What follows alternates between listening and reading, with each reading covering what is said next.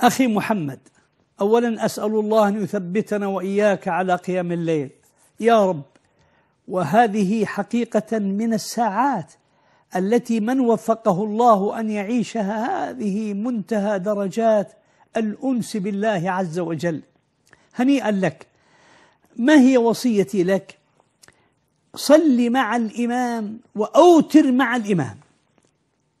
افعل كما كان يفعل أبو بكر الصديق رضي الله تعالى عنه.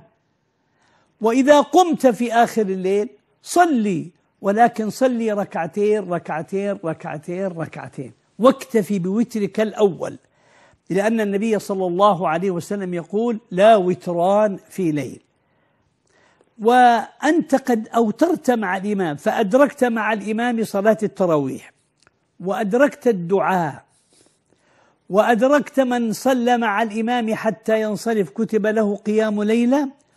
وأدركت قيام آخر الليل بأنك تصلي ركعتين ركعتين. وهكذا كان يفعل أبو بكر الصديق رضي الله تعالى عنه وأقره النبي صلى الله عليه وسلم على فعله أنه كان يوتر في أول الليل فإذا قام في آخر الليل صلى ركعتين ركعتين ركعتين. أسأل الله لي ولك دوام التوفيق.